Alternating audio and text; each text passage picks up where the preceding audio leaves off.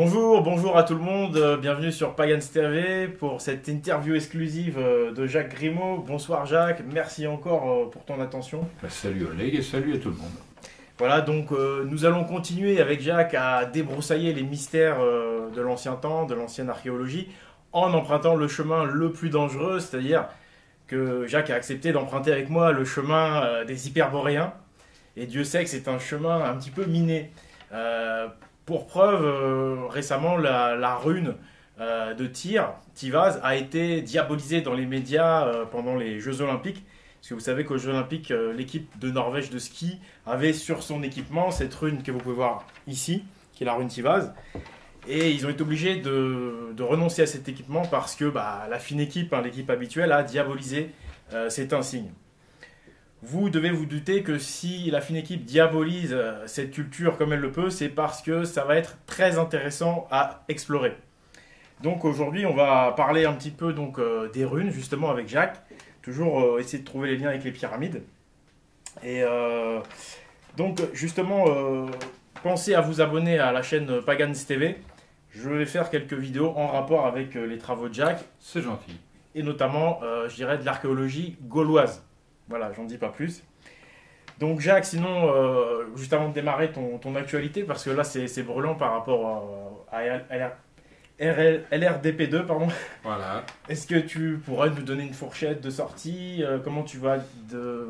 Hmm. Comment le film va, va Début de la sortie au mois de juin, fin de la sortie au mois de novembre. D'accord. Ça paraît bizarre, mais c'est un. C'est une fourchette euh, confortable, mais tu as raison. Ça, c'est une fourchette de sécurité. C'est-à-dire que c'est cette zone-là prioritaire, si je puis dire, parce qu'on va d'abord faire connaître le film en allant sur place à la rencontre, et après il sera disponible partout. C'est surtout cette euh, stratégie-là que je veux mettre en œuvre, afin d'une part que le film ne soit pas dénaturé, tripoté, saucissonné ou remis sur Internet, histoire de nous couper la, possibilité de tirer parti des finances qu'il pourrait rapporter, qui seraient mises euh, au service du film suivant, qui a été coupé par, euh, qui vous savez, mhm. hein, quelqu'un de la clique de, comment tu les appelles Les La fine équipe. Ah, la fine équipe, pardon. D'accord. Eh bien, je suis à ta Je suis à votre disposition. Donc, n'oubliez pas, il faut vraiment soutenir Jacques. Euh, moi, je trouve qu'il est vraiment pas assez soutenu. Euh, oh, bah, euh, franchement, quand on sait que c'est lui, le savant, le cerveau, lui qui a, je pense, le plus de connaissances à, donner, je comprends pas qu'on donne autant de valeur. Il va soutenir par une corde, si tu insistes. je comprends pas qu'on puisse donner autant de valeur à un réalisateur ou à un technicien par rapport à quelqu'un qui, est savant. Qui nourrit tout le monde. Bah oui. Bah oui. Bon bref, donc il faut soutenir Jacques, hein, les amis. Euh. Donc, allons-y dans le vif. Mais euh, Pouillard, il est hyper barré, lui. Hein. bon, vas-y, vas-y. Allez, cap sur... Euh, donc justement, par rapport à Hyperboré, la, la dernière super interview que tu m'as donnée la dernière, franchement, elle a fait rêver des tas de gens. Il y a d'autres gens qui ont été surpris parce qu'encore une fois, ils ont il y a une telle différence entre euh, la vérité de ce qui s'est passé historiquement et ce qu'on croit savoir, il y a des gens qui n'y ont pas cru. Et moi-même, euh, par mhm. j'étais surpris par rapport à ce que tu disais. Sauf que les mois qui ont suivi, bah, j'ai regardé les choses, j'ai travaillé plus, j'ai approfondi et, je me suis dit, waouh, ce que Jacques nous a dit, c'est ça, tombe, juste et c'est juste énorme, quoi, c'est juste fabuleux. Et j'ai même pu recouper avec en fait euh, une tradition normande, mhm. orale, mhm. dans laquelle j'ai retrouvé un mythe en fait qui décrit les fils de Bord sont menés par le dieu Tyr. Tiens, justement, mhm. ça tombe bien, hein, c'est la rune qui a été diabolisée par la fine équipe. D'où le verbe tirer d'ailleurs. voilà. Et ils mènent les fils de bord en fait dans le désert de glace, donc ça correspond bien mhm. à un cataclysme, une glaciation brutale. Euh, et donc, euh, il est expliqué dans ce mythe comment en fait les, fils de bord, donc les survivants de, la cité boréale Borgis, hein, euh, ont fait pour s'orienter. Et en réalité, ils ont utilisé les étoiles. Mhm. Dans ce mythe, en fait, il parle de, mettre un bâton en fait pour regarder, pour pointer l'horizon, se servir du bâton comme un viseur à l'horizon et regarder si l'étoile en fait sort ou euh, rentre sous l'horizon ou se déplace latéralement. Parce qu'il faut bien comprendre que ce mythe, c'est comment ils ont fait pour se sortir de là dans une période sans soleil de plusieurs nuits en fait. C'est-à-dire qu'on est dans une zone polaire où euh, le soleil n'est pas là pendant plusieurs jours. Et donc, c'est pratiquement... dire, c'est l'endroit où la durée du jour, c'est six mois, Et la durée de la nuit, c'est six mois. Et il faut continuer à survivre pendant les six mois d'obscurité quasi totale. En réalité, on voit le soleil à l'horizon, en Norvège et tout ça, mais quand on se rapproche du pôle, c'est-à-dire géographique, il n'y a plus du tout de. Ça n'est que le jour ou que la nuit. il n'y a plus de différence. Et quand là, ils étaient dans une zone, on va dire, intermédiaire, il y a une, une nuit qui dure peut-être pas six mois, mais qui peut durer plusieurs semaines. Oui, mais grosso modo, ça dure très longtemps. Ça dépend de la distance au pôle. Voilà, c'est ça. Par rapport à la, à la latitude, oui. Et euh, donc, oui, par rapport à ça, euh, on, comprend qu'en fait, comme il n'y a pas de soleil pendant plusieurs jours, que c'est une étendue gelée, que c'est tout blanc, euh, pour s'orienter, c'est très difficile. Donc, ils ont été obligés d'observer le mouvement des étoiles pour savoir si c'est une étoile levante ou couchante. C'est ça ce que dit la rune, ça veut dire quand vous êtes perdu, le seul moyen réel de s'orienter, c'est s'élever au-dessus du réel pour trouver le vrai. Et l'orientation, c'est ça. Le mot même d'orientation, il y a or dedans parce que c'est la lumière, l'or euh, physique, etc. Et c'est le moyen de se sauver. C'est le cœur des choses, l'orientation. Avant d'agir, il faut s'orienter. C'est déterminer le meilleur chemin, celui qui euh, comment dire, est capable de protéger le maximum les individus desquels on se soucie, c'est-à-dire la famille, les parents, les enfants, les grands-parents, les cousins, etc. D'abord parce que c'est ça qui prévalait, c'est sauver mmh. le... La tribu. Voilà, l'ensemble. Mmh. C'est un ensemble coordonné qui a des habitudes sociales qui sont à la base même de cette survie. Si on ne peut pas compter avec le voisin, c'est mort, c'est terminé. C'est comme à l'armée, on est des compagnons, on a pris les mêmes risques. Ceux qui ne se comportent pas correctement, de toute façon, on sait qu'on les laissera sur le terrain se débrouiller avec leur propre destin. Mmh. Donc l'important, c'est pouvoir s'orienter, la première chose. Donc il y a nécessairement une transmission euh, dédiée à la protection de l'espèce humaine, et c'est celle-là qui est figurée ici. Elle est double, elle dit regardez les étoiles, mais elle dit aussi vous êtes venu de cet endroit-là. D'accord. Hmm? Parce que étoile, star en anglais, et star en français, et, comment dire, en ancien français, mais en espagnol actuel, c'est être. L'être pour les anciens, vient des étoiles. Il y a mhm. une partie terrestre, puisque la partie animale, en quelque mhm. sorte, a été empruntée au, lieu et les adaptations se font. Il y a des caractéristiques célestes et des caractéristiques terrestres. C'est pourquoi, d'ailleurs, tant dans la mythologie égyptienne ou d'autres, le personnage double, ou encore ce qu'on appelle le trickster dans le, le contexte mythologique, c'est celui qui fait des blagues, mais il fait des blagues qui ont du sens. Hein, ce personnage-là ce sont des personnages qui occupent le centre. Alors, je te laisse. Euh, oui, parce que justement par rapport à, comme un cette façon de. Enfin, ce mythe qui nous racontait donc comment ils ont pu s'orienter euh, juste avec les étoiles, juste avec la voûte céleste, euh, on peut dire que quelque part ils ont été sauvés par ces étoiles. Hum. C'est ce qui leur a permis de s'orienter, donc de sortir du désert de glace. Je t'interromps pour te dire que cette lettre-là, elle se prononçait à l'origine tir parce que le U et le Y sont les mêmes lettres. C'est la porte dit Tour en allemand, c'est la porte. C'est la porte du ciel, c'est le pôle, première chose. Deuxième chose, lorsqu'ils se sont pratiquement sauvés, stabilisés dans des lieux utiles pour eux, la prononciation a été changée, c'est devenu Tor, c'est-à-dire T-H. Mhm. Euh, on pousse parce que T c'est fixé, Hor c'est la lumière. Donc ça veut dire que la tradition a été de nouveau ressaisie et redéposée.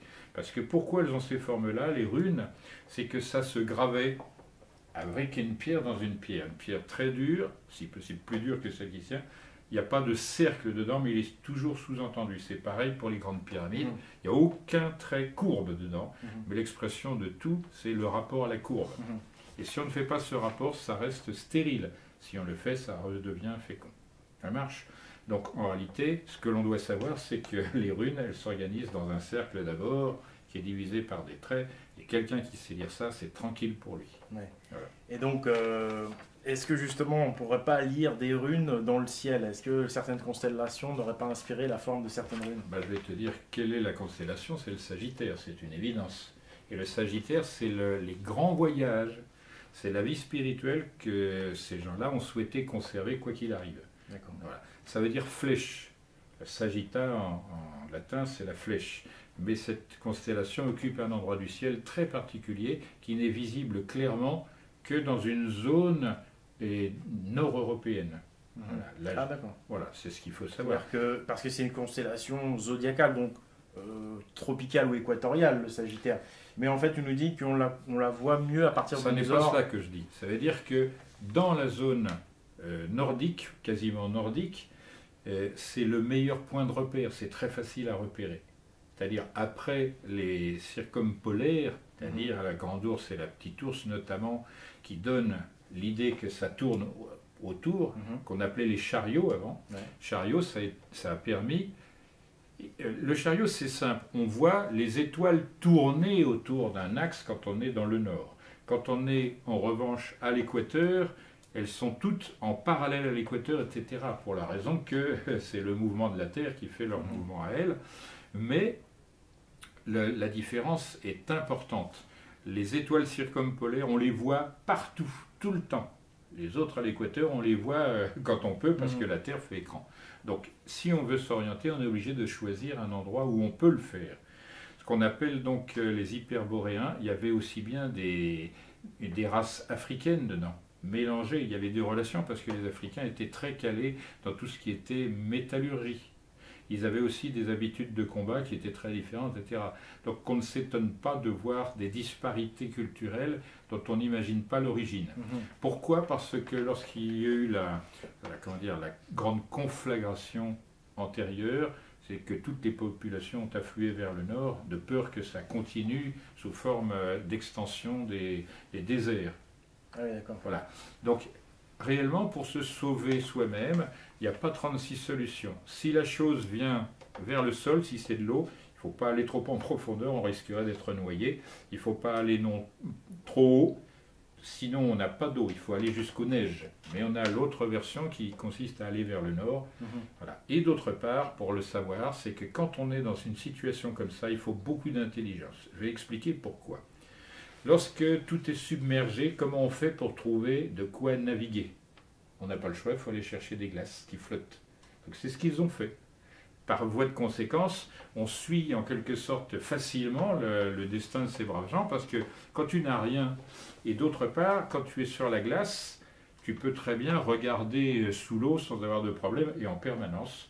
Euh, euh, comment dire, prendre des blocs de glace pour euh, comment dire, avoir de l'eau en permanence, avoir le confort alimentaire parce que tu gèles les aliments, tu chasses un phoque, il te reste trois semaines euh, à manger pour une famille, des choses de cet ordre. Donc il faut voir que c'est ça surtout, l'histoire sans cette intelligence et sans cette compréhension de ce qui s'est produit sur Terre, ça ne sert à rien. Les gens ne vont pas prendre leur valise pour faire 8 euh, ou 900 km s'il n'y a pas une nécessité derrière.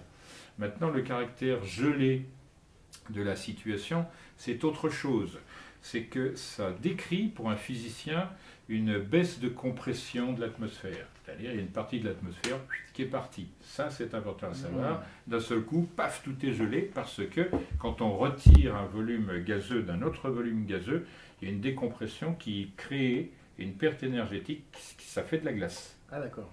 Ce qui fait que ça a été. D'où la fameuse période glaciaire qui fait que même euh, l'Europe était. Euh, Oula, il y a des, secrets assez étranges là-dedans. Quand on, voyage en Russie, actuellement encore, quand on va dans la taïga, c'est-à-dire la partie rasée, si je puis dire, il y a très peu de végétation, il y fait très froid, surtout parce que le vent, quand il souffle, on en prend plein la figure. Eh bien, on creuse à 1 mètre, 1 mètre 50, quelquefois on trouve une tourbe très spéciale, très dense, etc., et qui brûle beaucoup plus que la tourbe végétale, c'est bizarre, mais on a donné un coup de pelle dans le cadavre d'un mammouth. Et il est transformé par la pression cette fois-ci, ce qui démontre que lorsqu'il y a des mammouths qui sont transformés en tourbes, la pression atmosphérique qui les a enterrés, littéralement enfoncés dans le sol, était énorme. Donc il y a eu des phénomènes, l'atmosphère s'en va, et d'un autre côté, il y a des pressions épouvantables, etc. Et ces pressions ont fait se déshydrater instantanément la viande. Et après, quand c'est gelé, bah, ça reste tel que c'est. Donc là, on a véritablement la description de phénomènes cataclysmiques de grande ampleur, arrivés sensiblement aux mêmes époques et dans des régions limitrophes. Ça, si on veut s'intéresser à l'RDP, il faut prendre ça en considération. Jamais les gens n'ont réagi différemment face à un danger. Il faut s'y soustraire et survivre. Quand le danger est passé, qu'est-ce qu'on fait pour survivre? Quand on, par exemple, notre maison euh, brûle par suite d'un incendie, il ne reste rien, on est obligé de se débrouiller avec ce qu'on trouve. Hmm. Donc la moindre gamelle métallique va servir à chauffer les aliments ou à les conserver, etc. Et on prendra quoi ce On est dans la survie là. Mais exactement, il va falloir s'y préparer un jour ou l'autre, parce que c'est ça le principe, le principe de... Survie Non, avant. Euh, d'autonomie, d'indépendance Avant. Euh... Le donne ma langue au chat Ah ben non, non, non. Tu ne sais pas quel est le principe minima euh, Pour faire quoi? Dans quel objectif? Dans quel but? Prévoir, c'est gouverner. C'est ça la véritable ah chose. Mmh. Quand il y a un, conflit, la personne qui n'a pas prévu comment se comporter et comment faire pour survivre après l'engagement, ben c'est un peu pourri pour lui, ça sera trop tard. C'est ce qui s'est produit par exemple au Venezuela. Hop, en six mois, on est passé d'une vie à peu près normale à une catastrophe euh, sociologique de grande importance dont on ne parle pas dans les journaux, puisque comme tu sais, la fine équipe euh, possède les journaux et elle parle de ce qu'elle veut. Voilà. Donc euh, en réalité, c'est extraordinairement euh, difficile à vivre, mais personne n'en parle. D'accord. Voilà. Pour dire clairement, il y a une partie de la population qui a la limite de crever de faim. Et c'est une grande partie de la population. Donc c'est des événements climatiques, on va dire. Très non, non, non, politique, exclusivement politique. Pour être clair, encore une fois, ce que subit le Venezuela, qui était un pays parmi les plus riches d'Amérique latine, c'est ce qu'a subi la Grèce. Ah oui, d'accord. Voilà, c'est du même ordre. Pour revenir euh, à nos glaciers, euh, par rapport donc à cette euh, façon de s'orienter grâce aux étoiles,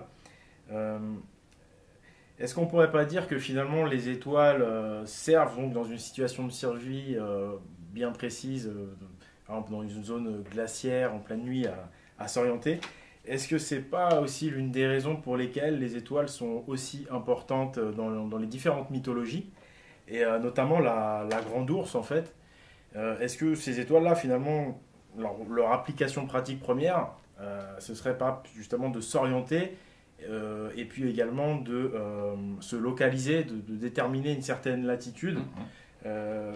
Par rapport à l'ours, notamment, on retrouve le, mot ours dans la racine de beaucoup, beaucoup de mots indo-européens qui réfèrent à l'origine. La Russie dont j'ai parlé avait un emblème animal, parce que ce sont les animaux sur lesquels on copie pour survivre. Voilà. C'est comme ça que ça se passe, la réalité. Ainsi, l'ex-URSS, c'était parce que ça disait le mot ours dans la manière de prononcer les anciens. C'est redevenu la Russie, mais dedans il y a RUS, et ça aussi, ça fait partie de la chose. L'ours, en réalité, c'est pour décrire la zone ancienne où les ours dominaient, c'était les carnivores les plus importants. Euh, un ours blanc, maintenant, ils sont en train de crever à toute vitesse. C'est quand même 50 kilos de bidoche par jour. Hein. Il faut quand même trouver de quoi. Ils sont très bons chasseurs d'ailleurs. Puis maintenant, il n'y a plus rien à manger. Mais ours, ça veut dire en réalité, our, la lumière est fixée. Mhm. Et c'est une lumière spirale. Enfin, toutes ces choses-là devraient être connues de tout le monde. Mais bon, mhm. comme on se fiche de tout et qu'on coupe tout, ça c'est la méthode de la fine équipe. Ça, on découpe les choses les hyperboréens, c'est ça, mais ils n'ont rien à voir avec ni les Grecs ni les Égyptiens, alors que c'est la même chose, la même mm. science. Pour s'orienter, il n'y a pas 36 000 manières. Mm. Il n'y en a qu'une. Si on ne la connaît pas, on disparaît. Donc, fatalement, les peuples qui disparaissent sont des peuples qui ont manqué de discernement à un moment de leur histoire. Mm. Et ce, manque de discernement fait que la force des choses les fait disparaître. C'est le cas des Égyptiens qui savaient, six siècles avant euh, leur disparition, que pour eux, la fin était en cours de, mm-hmm elle arrivait. Fort heureusement, les druides sont allés en Égypte au bon moment, les Grecs les ont suivis, mais si tu as lu Jules César, il dit très clairement que les Grecs ont été instruits par les druides. Hmm. Et généralement, on ne te dit pas ça. Pagan TV, les amis. Ah et oui, et, et, les, ancêtres des druides en France sont arrivés de la mer à Saint-Gilles-Croix-de-Vie. Rien que le nom, voilà, rien que le nom. C'est pour ça qu'il y a beaucoup de centenaires en Vendée d'ailleurs. Hmm. Le nombre de... C'est pas seulement le climat qui est parfait, c'est que les lieux, etc., sont importants. D'où le génocide peut-être euh, Voilà. Tu, tu connais un peu les, les, lieux de Vendée Oui, tu veux parler des Bretons qui ont été plus ou moins éradiqués à l'époque de la Révolution française. Ben oui. Eux étaient attachés à des principes supérieurs. Hmm. Et comme je l'ai dit tout à l'heure dans mon cours, à certaines époques, notamment les plus tardives, la prêtrise était une prêtrise de robe, on achetait sa charge, point barre. Hmm. On parlait de Dieu si on voulait, mais on n'était pas tenu de le faire du moment qu'on payait l'impôt. Et donc justement, euh, par rapport aux étoiles, ce que je voulais te demander, mais au début tu m'as dit directement que c'était euh, les étoiles, c'était notre origine. Oui. Euh, est-ce que c'est sur un plan spirituel ou est-ce que pour toi c'est matériellement parlant que c'est un lieu d'origine? Totalement matériellement parlant et totalement spirituellement, puisqu'on ne peut pas détacher les autres. ces deux choses sont tout le temps en même temps. Quand on dit il faut être euh, comment dire, engagé spirituellement, ça n'a pas de sens si l'action, si la parole, etc. ne suivent pas. Il faut l'individu tout entier. D'accord. Mais euh, par exemple, la Grande Ourse, pour moi, hein, c'est plus pour désigner bah, la latitude et la zone boréale, polaire, que pour dire que, que ce, serait ce lieu-là sur Terre qui serait l'origine. Plus, à mon avis, que de dire que on vient de, de planètes de cette constellation de Grande Ourse. Ça, ça, se comprend par la logique. Imaginons qu'il y ait des extraterrestres qui doivent atterrir, c'est-à-dire venir sur la Terre, hein, dans le sens étroit du terme. Qu'est-ce qu'ils font? Ils observent d'abord, ils évaluent les risques. Hmm. Et ça, c'est le principe de protection. Donc, euh, quand tu vas, par exemple, sur un terrain où il y a eu des engagements euh, militaires, qu'est-ce que tu fais d'abord? Bah, tu... Bah, tu analyses justement le terrain. Si, tu es en pays euh, orientaux, tu fais passer les femmes. Pourquoi? 5 mètres devant les hommes Parce que s'il y a des mines, ben boum. Non, mais c'est aussi bizarre que cela. Mais c'est pas une plaisanterie, hélas, puisque ça s'est produit, j'en ai été témoin. Mais ce que je veux dire par là, c'est qu'on est obligé de déminer. Il faut sécuriser. Et le moyen de sécuriser, c'est s'installer d'abord sur les montagnes. Au sommet des montagnes, parce qu'il y a ce que j'ai expliqué tout à l'heure pour la glace, tu t'y caches facilement. Tu t'habilles en blanc, et si tu es blanc, c'est encore mieux. Tu es dans la neige, personne ne te voit. Si toi tu regardes en bas, tu vois tout le monde qui peut venir, donc tu sais t'organiser militairement. Mm. Tu peux faire des choses trappes, par exemple, des pièges dans la neige, c'est facile à faire. Mhm. Un filet de la neige, personne n'arrive sur le filet sans voir, hop, au fond du trou, terminé, ça fera de la viande pour plus tard. Non, c'est comme ça que ça se passe militairement. Donc ces choses-là sont claires. On a de l'eau, on a de quoi mettre la nourriture sans qu'elle bouge, etc., etc. Tout ça, c'est bien. Et même si on est habile, adroit, je vais t'expliquer comment ça se passe, euh, dans le sens militaire du terme, il faut être capable de faire de la vraie glace avec les mains. C'est-à-dire, prend un bloc de, neige tassée, etc. Et grâce aux mains, on fait fondre un petit peu de la surface euh, enneigée. Et quand ça gèle, tu as une petite couche. Tu l'ajoutes le lendemain jusqu'à avoir une épaisseur comme ça qui est quasi transparente. Tu vois les gens de, de l'autre côté de l'igloo ou de l'endroit que tu habites comme à travers un verre épais, les verres d'église, tu vois, c'est de cet ordre-là. Donc ça peut être d'une très grande utilité, etc. Ce qui est bien parce qu'un réfrigérateur en glace, c'est quelque chose qui est parfait. D'autant plus que la glace, ça isole. Hmm et quand tu dois partir et que tu as besoin de morceaux de glace pour mettre tes affaires et les envoyer au gros, comment dire, l'iceberg qui on dit iceberg hein, et non pas iceberg. Ça, c'est peut-être bon. Eh bien, c'est une chose à faire. On nage avec, on pousse les choses ou on les traîne, etc. Ça fait partie des survies, ça. Que, que, tu survives dans les pays très chauds, c'est bien, comme les Américains qui font faire des stages, ou d'ailleurs les Français, dans les pays chauds. Mais dans les pays froids, c'est beaucoup plus tranquille. D'accord. Hmm? Ok. Euh, que penses-tu de la théorie de la planète X et des Anunnaki? Est-ce que ça te paraît euh, à la mode. C'est à la mode. Non, c'est très mal traduit. Ça n'a rien à voir avec la vérité des choses. Mais chaque chose en son temps. D'abord, je ne dis pas de mal des gens utiles. C'est-à-dire que quelqu'un comme euh, CKS et Chin, il se rend utile parce qu'il attire l'attention sur des vrais problèmes. Le fait qu'il ne donne pas des solutions solides et tout ça, c'est on, en viendra petit à petit à cette solution. Mm. Il attaque de manière assez euh, efficace quand même le, monde qu'on nous impose. Il remet en cause les traductions. Il faut toujours remettre en cause les traductions. Pas à la manière de Mauro Bellino qui, qui s'est trompé à l'origine, donc le résultat. Poubelle au démarrage, poubelle à l'arrivée. Bon, voilà. parce que bon, c'est vrai que là, on est toujours dans la théorie de, des extraterrestres matériels qui arrivent d'une autre planète. Est-ce que ce serait possible que matériellement une planète. Moi, j'allais te dire que personne ne vient d'une autre planète. C'est des gens qui se baladent. Ils n'ont rien à fiche d'une planète, ils construisent la leur. Qu'est-ce que tu veux faire? Tu vas pas traîner une planète derrière toi. Tu n'as besoin que d'un élément qui soit ton biotope et qui se promène. Toi, comprends? Ah oui, oui. Un poquito, ah, d'accord, euh, Je vais te réexpliquer. Je vais travailler les prochaines tu vas Pas, tu vas pas franchir des distances extraordinaires simplement pour visiter un jardin. Donc il faut quand même que tu sois à proximité. D'une manière générale, tout cela se traite militairement. Si toi, extraterrestre, arrives dans un endroit, il ne faut pas que tout le monde te voie. Hmm. Donc tu vas passer géométriquement et optiquement parlant par des endroits qui favorisent énergétiquement ton arrivée dans des bonnes conditions, mais si possible, aux abords de la Terre, tu vas rester de l'autre côté de la Lune, de sorte qu'on ne te voit pas. De temps en temps, on te verra, parce que dans la trajectoire entre la Lune et la Terre, fatalement, hmm. ça se voit.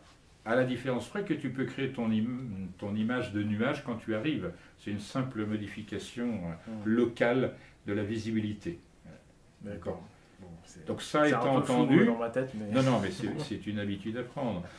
Après, on se dépose là où on veut, on regarde, etc. Mais ce qu'il est, ce qu'il est bon de savoir, c'est que ça n'est pas cela dont on parle. J'explique brièvement dans le cadre de LRDP.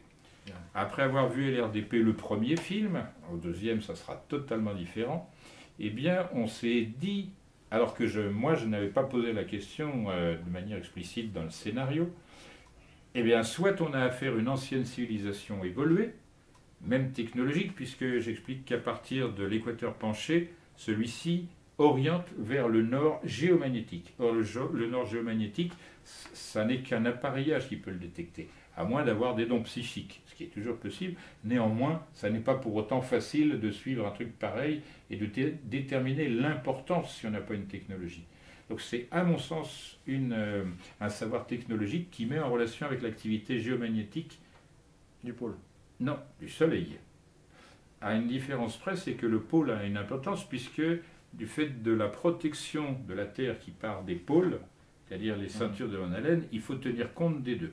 Là où ça va poser problème, c'est que si les deux sont joints, c'est cuit parce que l'activité géomagnétique de la Terre va s'opposer à l'arrivée de tout ce qui est ionisation utile à la vie. Donc ça fait partie des problèmes réglés. Donc j'en reviens à l'autre partie.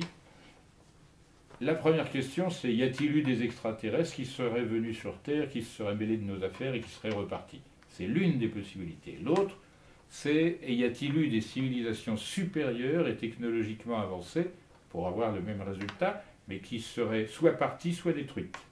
Mais la troisième voie que personne n'aborde, c'est est-ce que ces deux-là ne se seraient pas rencontrés et partis ensemble? C'est-à-dire que s'il y a des êtres humains de cette civilisation élevée qui sont partis, ils reviennent comme des êtres humains, c'est-à-dire ils sont capables de respirer dans cette atmosphère. Ça très bien avoir, des êtres humains, voilà, et, avoir les mêmes comportements. Pourquoi? Parce que contrairement à ce que disent les darwinistes, l'homme, il n'a en rien évolué. Il n'a pas évolué du tout. La jalousie meurtrière existait avant, elle est toujours de nos jours, puisque l'essentiel des, assassinats, ce sont des meurtres euh, liés aux émotions, aux, comment dire, aux comportements animaux. C'est-à-dire quelqu'un qui est jaloux. L'animalité. Voilà, exactement. Il va dépasser la limite, hmm. et ça sera catastrophique, mais c'est comme ça. Donc c'est bien ça qu'il faut regarder. C'est pas seulement la, jalousie, il y a des paresseux, c'est les mêmes qui étaient toujours. Euh, voilà, c'est les mêmes. Et ça a été déterminé dans l'astrologie, qui est une euh, discipline très ancienne, parce que on a ces constituants qui sont toujours les mêmes, et c'est dû à notre environnement et à notre manière de nous y adapter ou non. L'éducation peut beaucoup dans ce domaine, mais l'éducation de nos jours, qu'est-ce que c'est? C'est obéir au gouvernement, c'est ça? Bah oui. Bon, continue. Parce que justement, moi, la réflexion que je m'étais faite avec toutes ces spéculations euh, qui circulent partout, qui disent souvent oui, le lieu d'origine serait Sirius ou la Grande Ourse. Faux. Mais moi, ça me paraît faux aussi, parce qu'en fait, c'est les constellations les plus visibles. Non, non, euh, on va être comme par hasard, ça viendrait des constellations. Tu sais quelle est la vitesse de rotation de Sirius sur elle-même? Euh, C'est très très rapide. C'est extrêmement rapide. Rien ni personne ne tient là-dessus. D'autre part, ça n'est pas de la matière. Les planètes telluriques comme la Terre, c'est une toute petite partie de l'univers, mm. toute petite. Et généralement, on va faire la même chose, nous, dans le genre humain, si on passe les épreuves, c'est qu'au bout d'un moment, on veut voir ce qu'il y a ailleurs, et surtout, c'est comme on a vécu dans une poubelle. c'est comme un, gamin dont tu changerais jamais les couches. au bout d'un moment, il en a marre du berceau, comme il peut marcher, il se tire. Hmm. Il va pas rester dans le... Hein Voilà. Sauf si c'est marqué de 3 à 6 ans, le mec il garde sa couche entre 3 ans et 6 ans. Hmm. Voilà, donc il en a jusque Blague à part. Donc, euh, ce qu'il importe, c'est de s'apercevoir que notre destin, c'est de prendre la route des étoiles. Mm. C'est-à-dire que ça aussi, ça marque la destinée humaine en même temps. Ce qui veut dire que dans le langage runique... Mais ça peut être également spirituel, cette façon de... Est-ce que c'est vraiment matériellement, on peut euh, non, voyager dans notre planète, ou est-ce que c'est simplement s'élever spirituellement? S'élever spirituellement, c'est prendre les voies qui nous ont enseignées par la nature. C'est ça. Les anciens disaient, Donc ça que plus tu t'écartes de la nature, plus tu te rapproches de l'erreur. Donc je disais, le caractère polysémique de cela, c'est d'abord regarder vers le ciel d'où l'on vient, regarder vers le ciel parce que c'est lui qui donne les leçons, le survie, et il faut se comporter comme un guerrier. Ça, tu ne le savais pas peut-être, mais c'est aussi ce que veut dire euh, la rune. Elle est comme le, comment dire, l'écriture égyptienne, elle est en strate. C'est-à-dire, si tu prends le langage guerrier, ton message, il va se traduire dans un contexte guerrier et militaire. Hmm. Militaire, c'est plus que guerrier. Le guerrier, c'est le type qui, qui, défend sa peau, qui est obligé de se sauver lui-même. Le militaire, il a des, des actions très différentes. C'est-à-dire prendre possession d'un lieu par euh, tout moyen, etc. C'est un peu différent. Or, il y a une intelligence militaire qui est collective et le guerrier se débrouille tout seul. Toutes ces choses-là, à la base, il faut les connaître. Donc pour revenir à cette chose-là, quand on veut comprendre les runes, il faut d'abord déterminer le contexte. Or le contexte, il se détermine par l'orientation de l'écriture par rapport à certaines étoiles à certains moments de l'année, etc. Mhm. Donc si on est euh, pseudo-archéologue, euh, c'est parce qu'on est pseudo-astronome. Voilà. Une chose engendre euh, la même chose dans le contexte à côté. Et on ne peut rien savoir parce que les runes ne sont pas comprises comme à la fois un langage et une écriture, mais stratifiées. Donc si on veut le lire comme, des, comme on l'a fait en Égypte, c'est très drôle, les Égyptiens, pour mettre la vérité face au petit peuple, euh, ils, faisaient des beaux dessins, des petites histoires, etc. Et disaient, la religion, c'est ça. C'est pareil pour les cathédrales. On te dit, la Bible, c'est ça, on te fait des images parce que tu ne sais pas lire. Et au surplus, tu ne sais pas écrire. Mais dans ces images, il y a des tas d'indications qui sont plus fortes que la lecture que tu pourrais faire en sachant lire. Donc c'est ça ce qu'il faut décrypter. C'est ce langage-là qu'il faut décrypter. apprendre à connaître le contexte, parce qu'effectivement, tout varie en fonction du contexte. Une phrase dite. Euh, Alors on va continuer sur l'autre, euh, comment dire, l'autre strate. La d'ours Non, c'est pas ça. Ah, ça, c'est l'abri. Tu vois, c'est ça. C'est mhm. le toit au sommet. C'est pas seulement une flèche. C'est pourquoi une flèche, on aurait pu la dessiner vraiment comme une flèche de mhm. manière tout ça. C'est que tous ces éléments sont constitutifs. De plus, cette rune se lit en français correct, ni tort, ni tir, ni quoi que ce soit, mais un. Parce qu'on la décompose en deux parties qui sont toujours les mêmes, le 1 qui est lisible ici et le 1 qui est lisible là. Un, double. Oui, ça veut dire que ça se lit dans un sens et dans l'autre.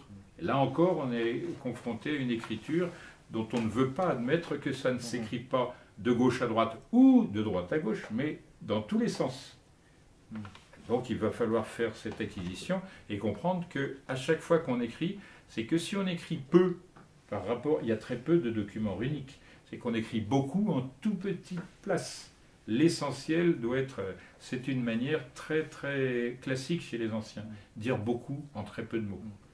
Je me souviens, notamment mon grand-père, il était d'une concision euh, terrible. Et justement, les, citations qu'on peut faire dans le monde ancien, c'est vraiment très drôle, parce que ce sont des, équations littéralement. Et ça, c'est aussi un autre aspect. Si ça ressemble à un, ça veut dire qu'il y a un lien entre la chose dessinée et le nombre. Tu regarderas ta liste de, de glyphes runiques et tu vas t'apercevoir qu'il y en a, c'est le dessin des nombres tels qu'on les connaît chez nous, alors qu'on dit c'est des nombres indiens et c'est des nombres arabes.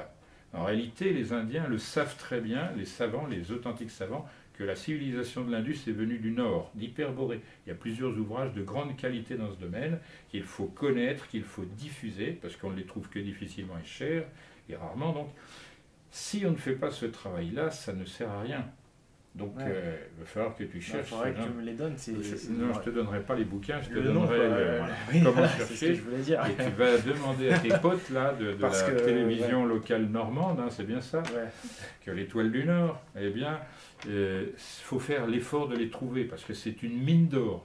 Véritablement, tu as la démonstration du fait que la culture arienne, il faut mm. bien en parler à un moment ou à un autre, c'est une, une culture hyper boréenne.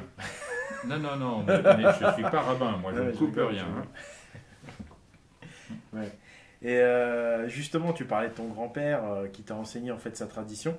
Et euh, justement, question indiscrète, ta tradition, tu sais de quelle tribu elle provient bah Oui, bien sûr. Gauloise? Non, ça veut rien dire, pardonne-moi.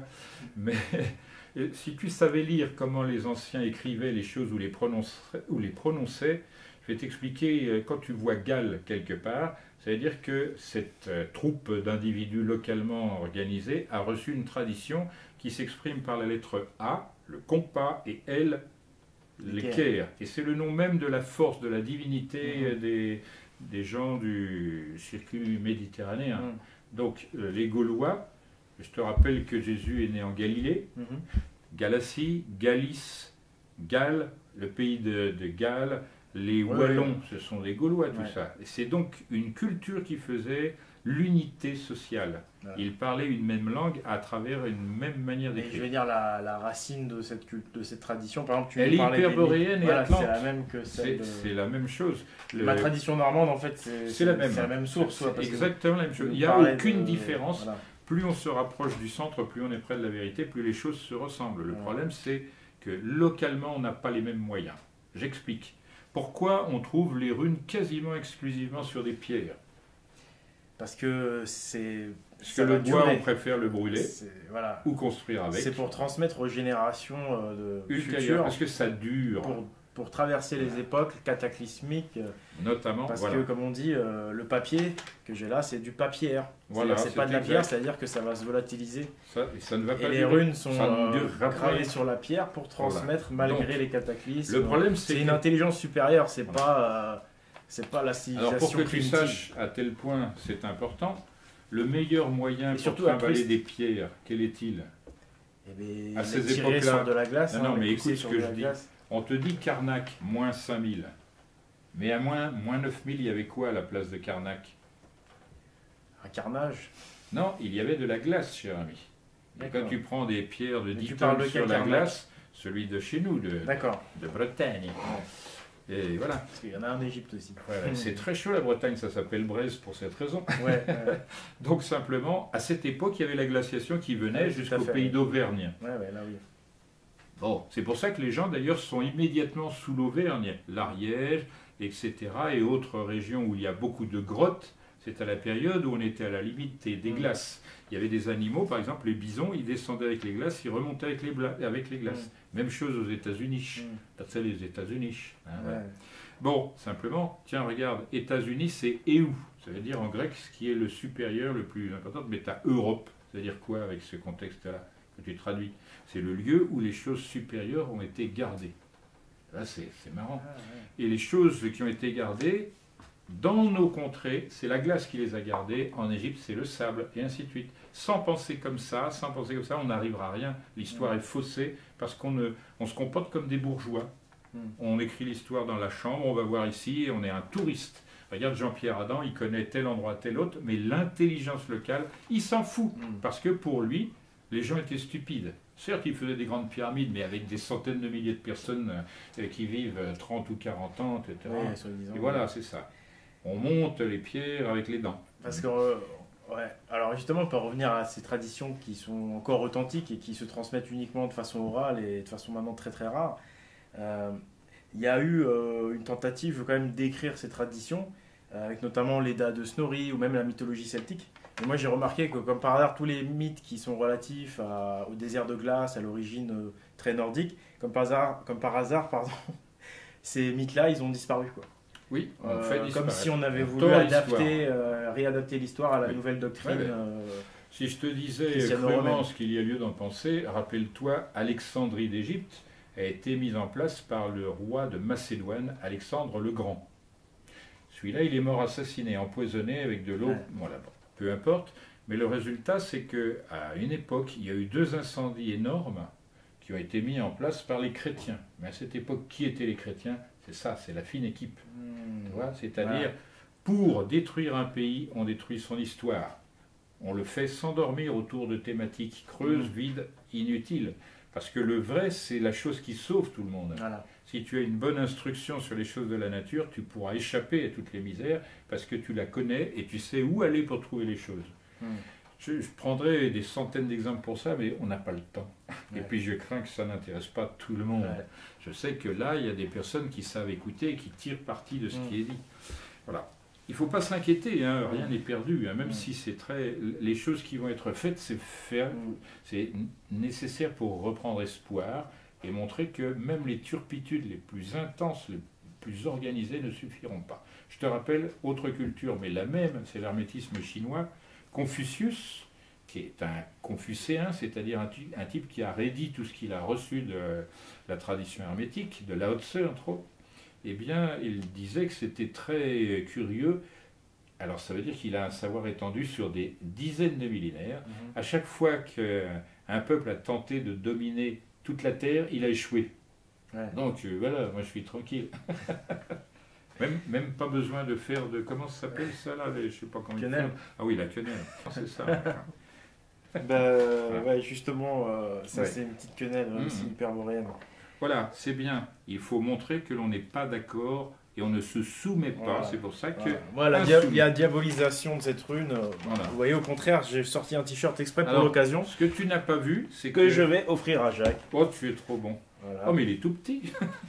ah, mais je vais en profiter là. Je en profiter. C'est taille. C'est un t-shirt qui Blanc et noir, c'est l'hermétisme. Ce sont les couleurs héraldiques. fait exprès. Voilà. Mais ça, c'est là le cœur de l'homme. Son énergie vitale. Tu vois, j'ai positionné la flèche exprès au chakra du cœur. Voilà. Il ne faut pas la retourner, c'est féminin, hein, sinon. Non, sans blague. Si tu la oui, tout à fait. Et d'ailleurs, elle perd de sa force, peut-être donner un, elle, un genre de, sa secret. virilité. Euh, enfin, moi, j'ai l'impression quand je vois le marteau de Thor tel qu'il est dessiné. Mhm. Alors, je sais pas si tu vois un marteau de Thor. Vous savez, ces gros marteaux qu'on voit souvent. Mhm. Même dans les euh, films américains. Piquant vers le bas. C'est j'ai l'impression qu'ils ont inversé la rune de mhm. Tivaz.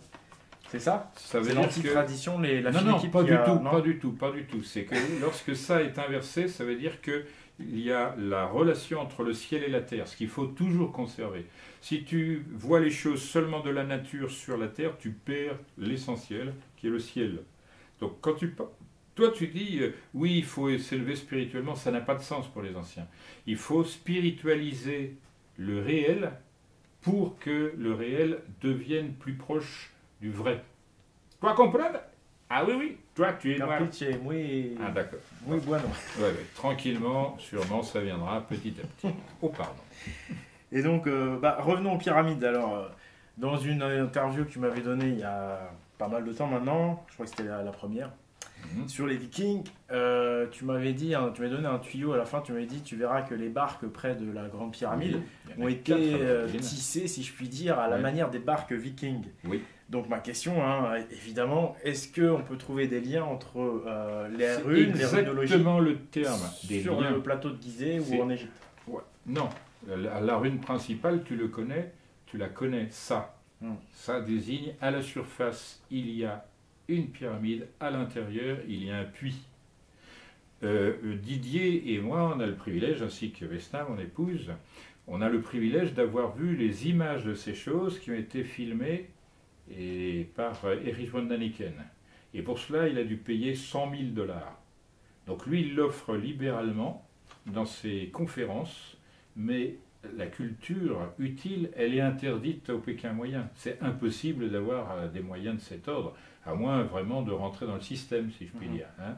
Donc euh, c'est par cet aveu, si je puis dire, par le fait qu'il ait mis cela au public, que l'on sait qu'en effet, il y a toute une partie sous les grandes pyramides, mais pas seulement la grande pyramide. En réalité, le, site euh, qui est sous les grandes pyramides, il va jusqu'à ce musée gigantesque qui ne sera jamais fini, qui se situe pratiquement à 2 km et demi des oui, le fameux musée euh, non terminé. Euh. Exactement, qui ne sera probablement jamais. Bon, ça, c'est un peu. Ça va à quelques centaines de mètres au-delà de ça.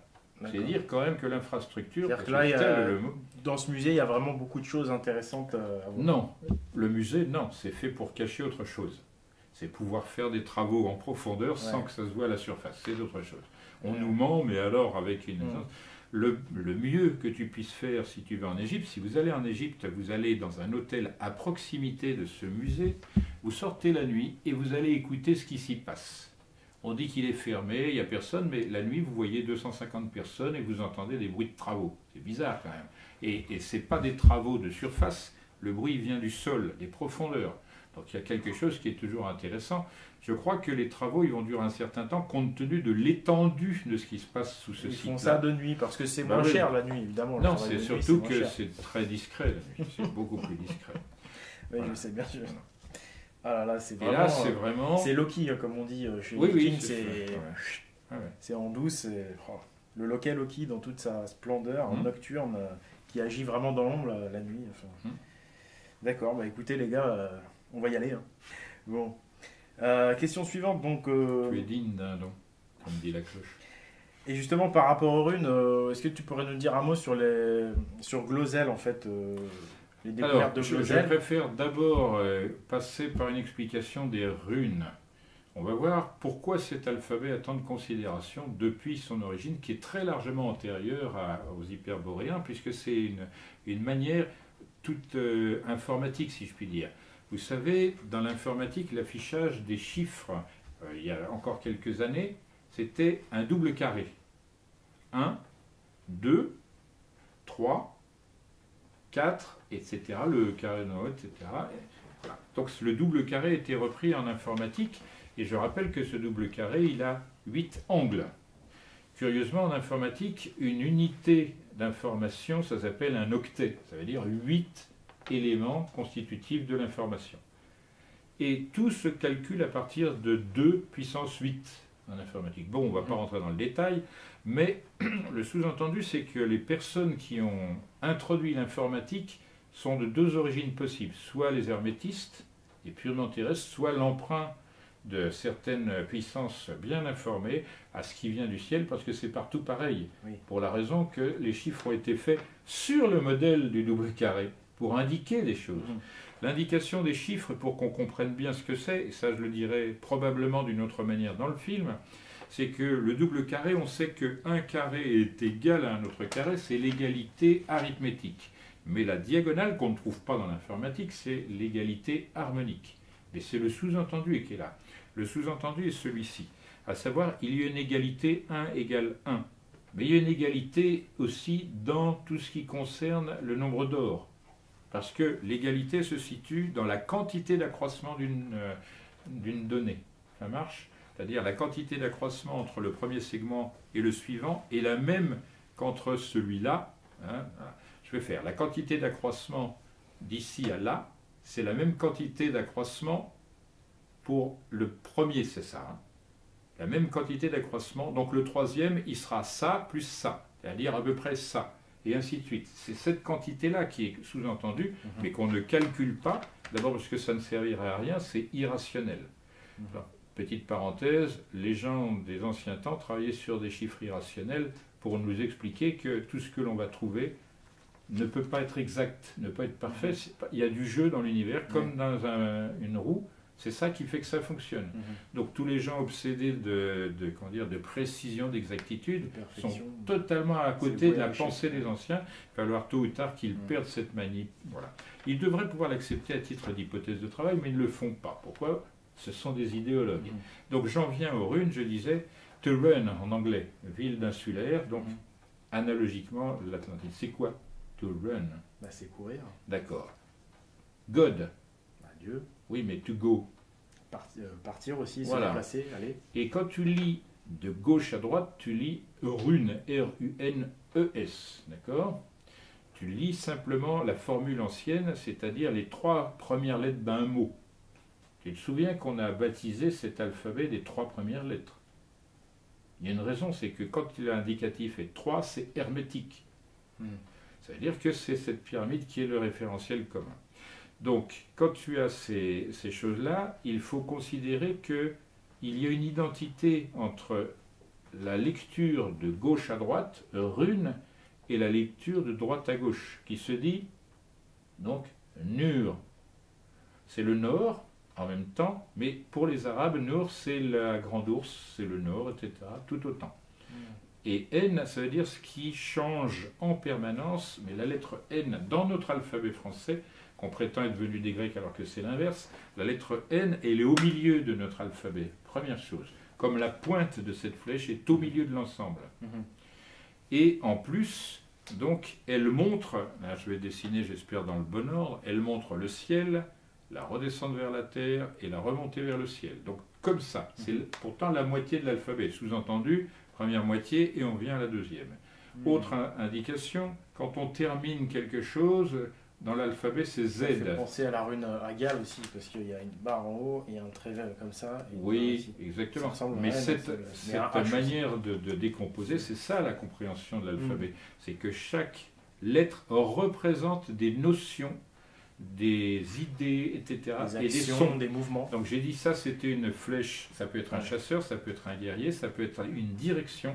Ouais. Et toutes ces choses-là sont vivant, en fait, considérées mobile exactement selon le contexte. Voilà. Le problème, c'est que le déterminatif, on le sait en égyptien, il est inscrit quelque part et on ne le prononce pas. Le déterminatif, chez les anciens les plus secrets, parce qu'ils transmettent des secrets avec les runes, Mhm. ça veut dire silence les runes à l'origine, hein. eh bien, le secret, c'est euh, il faut que je trouve le déterminatif dans le ciel. Donc la correspondance entre les lettres qu'on appelle les runes et les 22 étoiles les plus brillantes du ciel d'Hyperborée, c'est ça qu'il faut rechercher pour trouver. On trouvera par leur nom ancien, c'est-à-dire dans les sagas, on trouve les noms des étoiles, mais ce sont les héros. Ils portent Mhm. Thor, c'est une étoile aussi. Donc il faut bien savoir de quoi on parle. C'est c'est qui est Thor avec son marteau? Et pourquoi Non. Bah, Alors, je vais prendre un exemple, mais totalement différent. Nous allons aller en Afrique, hein, d'accord Là-bas, il y a des gens qui ont une tradition. Tous les 51 ans de la Terre, il se produit une chose bizarre et ils font 51 ans, c'est un nombre premier. 51, c'est la valeur de l'antimoine sur la table des éléments de la main de l'IF. Donc, pour eux, aussi une boisson euh, fort euh, oui, à succès. Oui, oui, oui, c'est le pastis euh, 51. Bon, moi je prends que des 102. Mais bon, euh, ceci étant, euh, cette tradition, c'est celle que je n'explique pas précisément dans le film LRDP. C'est quand on arrive en Afrique, il y a une ligne qui passe dans un pays qui s'appelle le Mali. Tu te souviens la Mhm. tribu du Mali en Le question Dogon du Mali. ouais. ce sont les Dogons. Déjà dans Dogon, et ce sont des termes qu'on trouve dans l'égyptien. Ça, je pense que les gens qui lisent l'hiérographie et qui la prononcent surtout doivent trouver tout seuls. Mais il y a ce qu'on appelle la fête du Sigi, et il y a une partie de leur savoir qui est incompréhensible.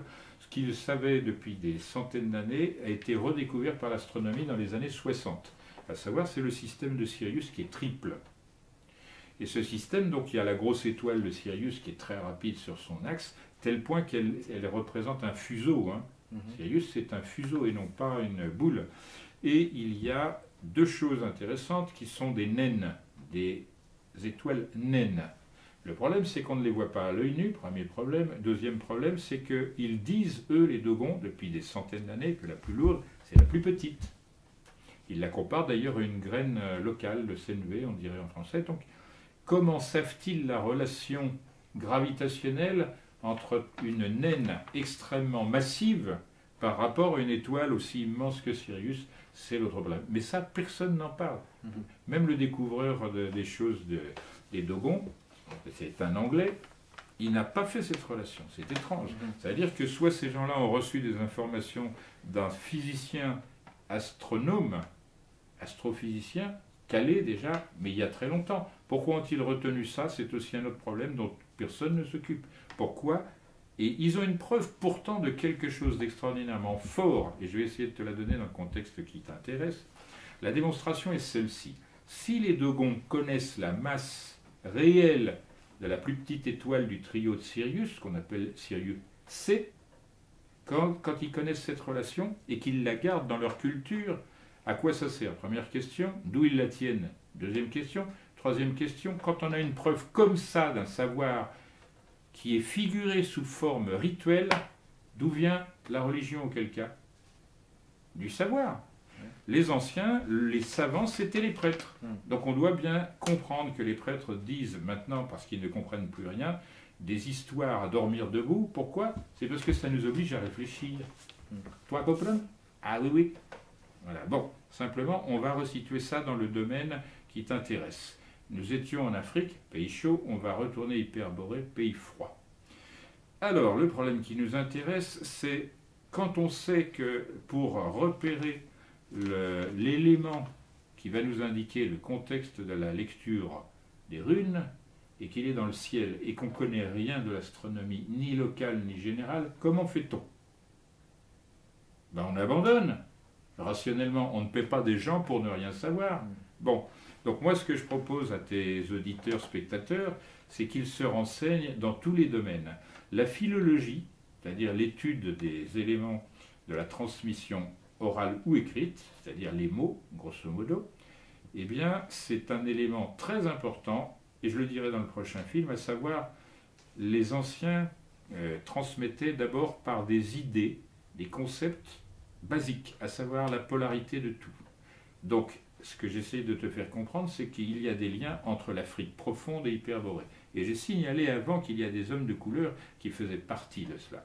La preuve, on la trouve ailleurs, en Inde.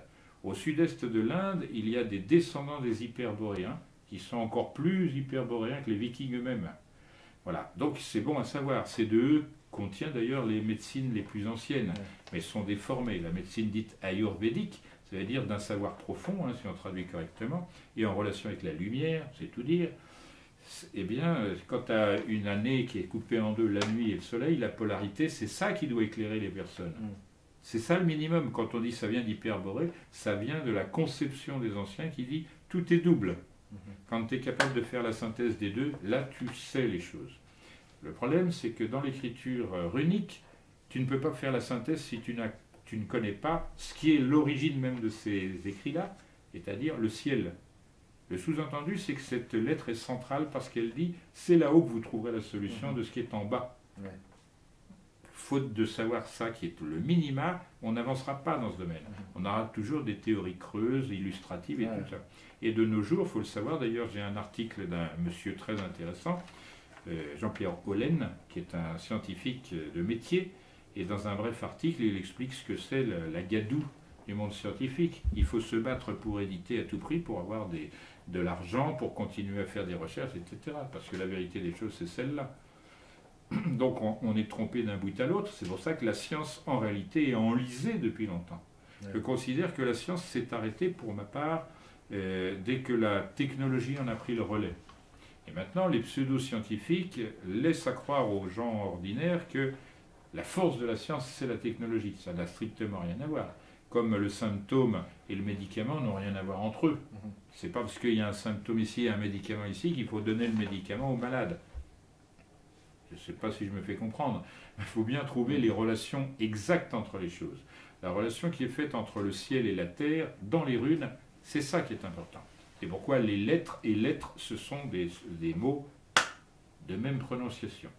Et le star et estar en espagnol, c'est l'astre et l'estre, être en ancien français. Hmm. Donc ces choses, comme elles sont ignorées, ne servent à rien. Or, chacun peut étudier ça chez soi, simplement en, en étant attentif.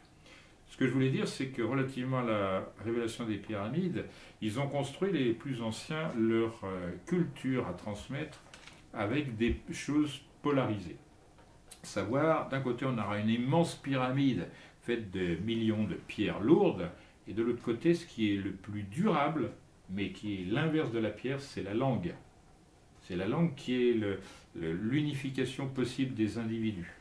Par exemple, il ne sert à rien de, parler du franglais ni quoi que ce soit, ou il faut préférer le français à l'anglais ou l'anglais au français, ça n'a pas de sens. Ce qui a un sens, c'est que si la loi qui est faite dans les pays anglo-saxons était la même dans les pays français ou euh, francophones, ça aurait quelque sens. Parce que ce qui a du sens, ce sont les éléments qui fondent les pays, les peuples, c'est-à-dire la justice comprise par tout le monde de la même manière. Ce n'est pas le cas. Le commerce aussi, il y, a, un droit du commerce qui n'est pas euh, observé. Hmm. Or, dans les runes, il y a les lois des peuples hyperboréens. Ça, c'est important. Et ça, ils le disent dans leur écriture, elle n'est constituée que de droite. Ça sous-entend moralement soit dans la rectitude. Tu vois, tous ces éléments. La droiture, l'honneur. Voilà, etc. Ça veut dire. Voilà. C'est la rune de la justice, c'est de l'honneur, oui, du courage. Donc, il faut bien être. Euh, conscient du fait qu'on ne sait absolument pas lire correctement les anciennes langues. Mhm. C'est pour ça que j'ai pas une confiance vraiment étendue ni profonde dans les travaux de Sitchin, mhm. ni de quiconque, c'est ça le problème. Mhm. Il faut véritablement connaître ce qu'est l'écriture, pourquoi elle a été choisie comme ça, et se dire ça a été décidé de manière arbitraire, c'est un contresens absolu. Essayer de comprendre que ces gens-là euh, mettaient du sens dans tout ce qu'ils faisaient. Ils faisaient comme la nature elle-même. Dans tous les éléments constitutifs de l'univers, il y a un sens qui a été voulu par le Créateur. Eux, quand ils créent une écriture, tous les éléments qui constituent cette écriture ont du sens. Ainsi, c'est à la fois des nombres, des figures géométriques, des rythmes, des... toutes ces choses-là. Connaître l'écriture d'un peuple à fond, c'est connaître sa science et la manière dont il se dirige dans toutes les situations. Ça, c'est ça la langue. C'est pas la linguistique, ça, euh, ça vient, c'est une langue euh, indo-européenne ou anglo-saxonne, ça c'est du flanc. D'ailleurs, je pourrais démonter cela facilement si tout le monde avait quelques petites connaissances de ces langues euh, limitrophes. Mhm. Voilà, montrer pourquoi l'allemand et l'anglais sont semblables dans certains domaines et totalement dissemblables dans l'autre. Mhm. Je rappelle qu'en français, on a encore des marques très anciennes de, de cette langue-là parce que ça, c'est l'indication de la polarité des choses et de l'écriture. Je, donne un exemple qui est tiré de l'expérience qu'a ma femme, Vesna, de la pensée en français. En français, on dit jamais je n'irai voir les, les, les, animaux mourir dans les eaux. Ça veut dire c'est un absolu complet, jamais je ne ferai ça. Mais si jamais j'allais aux eaux, comment traduire ça pour quelqu'un qui n'a pas c'est euh, comment dire euh, une formulation qui est incompréhensible pour quelqu'un qui ne comprend pas mm. jamais? Nous, on est habitués, donc ça ne pose pas de problème, mais quelqu'un qui vient de l'extérieur, il se demande pourquoi on a cet usage-là. C'est parce que chez les anciens, et on le retrouve dans, cela, le serpent, c'est à la fois l'emblème général de la mort par morsure, c'est-à-dire un truc, la mort sûre, mm-hmm. mais en même temps, c'est l'emblème des médecins. Voilà, parce qu'en réalité, dans la nature, un produit qui peut être mortel peut être aussi une médication euh, forte et tout ça. C'est d'ailleurs le cas de ce qui a été La polarité. Hum. Ouais. Par exemple, c'est important de dire pourquoi il y a une différence entre tir, ce qui se prononçait tour, parce que le mot tour, chez les anciens, par exemple en hébreu, c'est Megdal, la tour, c'est l'endroit des archives, le savoir. Mhm. C'était confié aux femmes la garde des tours où on mettait les archives. Hmm. C'était très important, c'est pourquoi les druides avaient une très grande importance qui les égalait très largement et aisément aux hommes, aux druides. Hmm. Et donc ça, ça s'est perdu, mais ça, c'est une rune masculine. La flèche est bien explicite, mais en même temps féminine, parce qu'elles aussi, les lettres sont polarisées. Donc il faut bien savoir que dans la... Pour être clair, d'une autre manière, le corps de la lettre, c'est sa géométrie, c'est son rang dans l'alphabet, c'est sa forme, Là, il y a un 3 internaire, c'est une, ligne verticale et 2. Ça sous-entend que c'est le nombre 3, ou encore, vu comme ça, c'est le trident de Neptune, ou la lettre epsilon chez les mhm. Grecs. Toutes ces choses-là, il faut les considérer telles qu'elles sont. Dès qu'on a un nombre déterminant d'une forme géométrique, on est, pour le nombre 3, dans le trismégitisme, mhm. c'est-à-dire la truc la plus importante. La mhm. rune la plus importante, c'est celle-ci c'est celle-ci qui fonde la morale des anciens dans cette région. Si on ne veut pas admettre ça, on ne comprendra jamais rien. Et c'est pour ça qu'il, enfin, sans doute, c'est pour ça que la fine équipe a vraiment diabolisé celle-là en particulier. Mais il retourne tout, la fine équipe. Est-ce que subliminalement, est-ce qu'il y a également, quand on, parce qu'il y en a qui disent qu'on peut, en méditant, en visualisant les runes, obtenir des états de conscience. Est-ce que effectivement, le, cette, cette image-là, cette flèche qui pointe en haut, est-ce que ça peut aider à réveiller certaines mémoires endormies? Est-ce que ça peut Est-ce qu'il y a également un pouvoir un petit peu subliminal en regardant ces symboles Je vais dire comme pour Sitchin, c'est-à-dire on le fait parce que ça ne fait pas de mal, mais je ne pense pas que c'est une grande importance. Il y a des personnes pour qui la méditation va être d'une grande importance, ce sont les fébriles. Mais d'une manière générale, la vraie méditation, c'est sur un objet de méditation, et mhm. pas home, tout ça. Mhm. Donc il faut bien comprendre, ne serait-ce que chez les les, comment dire, les Ariens qui restent, la méditation, d'abord, on ne la transmet pas à la généralité, on la transmet d'une personne à une autre. Mhm. C'est un geste de protection parce qu'il y a des dangers à méditer n'importe comment. Mhm. On a des exemples de personnes. D'ailleurs, j'éditerai dans mes petits livrets un ouvrage de 60 pages consacré aux dangers du n'importe quoi dans le yoga, la méditation et tout ce bazar qui nous vient en vrac. Et ça, c'est très important. Il y a beaucoup de personnes qui se sont fait piéger par des faux chamans, l'ayahuasca, toutes ces choses-là, des trucs qui, qui, doivent être mis en place par des gens qui savent par l'expérience. Parce qu'en réalité, la méditation, c'est une chose qui est éminemment personnelle, mais qui dépend à la fois de la complexion énergétique de la personne, de sa manière de réagir aux agressions, aux modifications du milieu, etc. C'est tout un ensemble qu'il faut connaître d'abord pour guider la chose. Après, quand la personne a compris comment se guider elle-même, là, on peut la laisser évoluer par elle-même. Ça dépendra de la fréquence, de comment, le sérieux, la profondeur qu'elle veut obtenir. Mais que je sache, jusqu'à présent, simplement la méditation, on ne s'élève pas spirituellement par une, euh, une chose qui n'est pas la liaison entre une pensée, un affect et un geste. C'est-à-dire toujours l'alliance de la chose en haut, au milieu et en bas. La méditation, ça va être euh, un outil, un exercice, mais il faut toujours essayer de relier ça au réel, à l'action, mettre si en relation si on ne marie pas, si on ne marie pas le, le, réel et le vrai, on n'a absolument rien à faire sur mm. Terre, d'une manière mm. claire. Il ne faut pas être infantilisé par les racontards. Oh, j'ai pas de, de, de, résultat dans la méditation. Ben, reviens à mon cours, ça te coûtera 70 euh, euros la journée, c'est pas grave. Euh, c'est comme ça, ça n'est pas dit, mais c'est comme la psychanalyse. Hein. Hein? Psychanalyse, c'est pour les gens qui ont été euh, pourris par l'éducation justement de la fine équipe. Mm-hmm. Sinon, ça, ils vont très bien, hein, Origine. Mm. Regarde, le puritanisme en Angleterre, il date justement de, hop là, mm. de la mise sous tutelle de cette clique. D'où, euh, bravo l'Islande, hein? Ah oui, l'Islande. Ah, parce que si tu coupes un bout, ça veut dire que la chose est mal faite. Tu peux rappeler ce qu'a fait bah, l'Islande L'Islande a décidé d'interdire la lobotomisation. Ah non, pardon, c'est l'inverse. C'est la circoncision. Bah, tu vois, je procède de manière polarisée, ça fait rire, mais ça laisse entendre des tas de choses.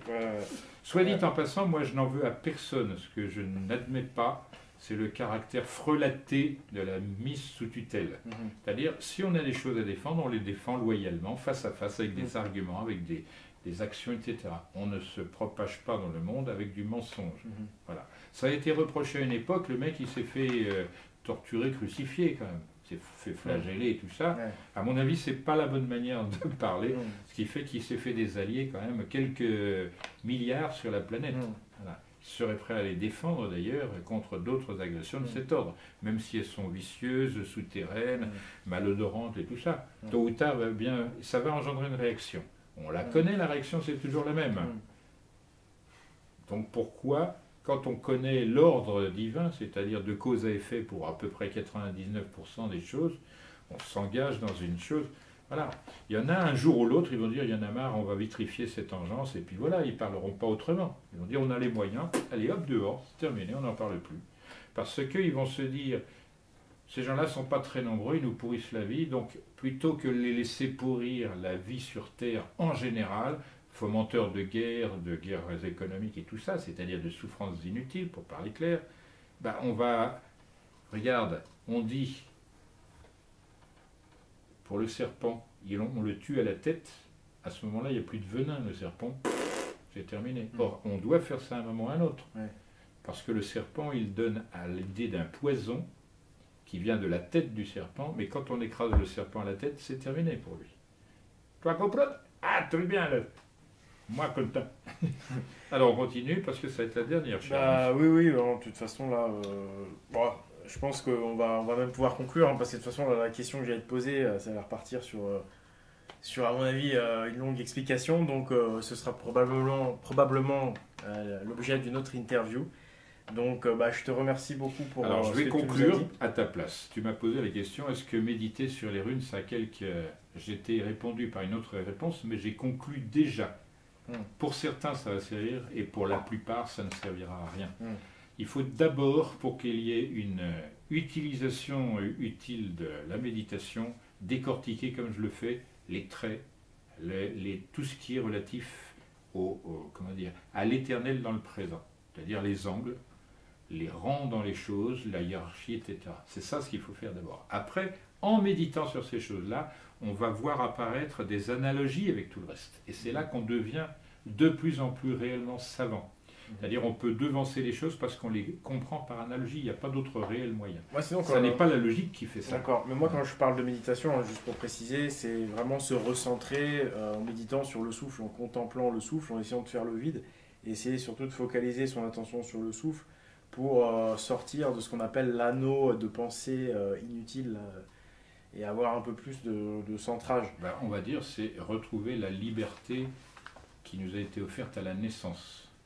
La liberté nous est offerte de choisir à la naissance quel principe on va adopter. Parce que les principes, c'est nous-mêmes qui les adoptons. Ça, on ne peut pas le retirer une fois que c'est adopté. On le fait dans la jeunesse sans s'en apercevoir. Mais après, quand on est confronté au réel, ça devient un peu à géométrie variable pour certains, et d'autres, comme toi, tu essayes de garder la rigueur, voire même la raideur dans la chose, dans son application. Et tu as raison, parce que cette rune-là, là où tu l'as disposée, est-ce que tu peux dire pourquoi tu l'as disposée ici?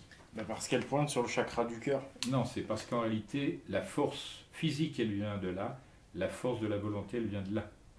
C'est parce qu'on aime les choses qu'on va aller jusqu'au bout. Si tu aimes la vie, tu vas défendre ta famille, ta propre vie, comme un malade, et tu vas te servir de ça. Ça sous-entend que pour s'élever, il faut un appui. ça, c'est ma conclusion. Il a montré le ventre, c'est la force, et là, c'est le cœur.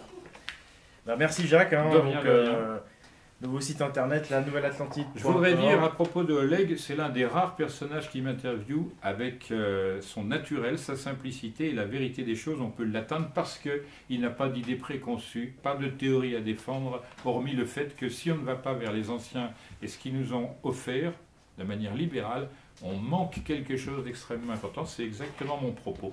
Salut à tout le monde, à une prochaine. Je voulais juste offrir mon livre, ça va pas se terminer. Quel malheur J'en profite à l'offrir devant, place devant, devant témoin.